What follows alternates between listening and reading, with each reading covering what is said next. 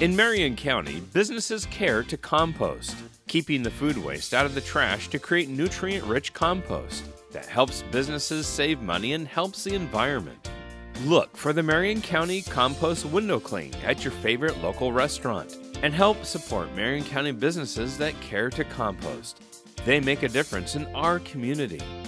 Learn more at mcrecycles.net.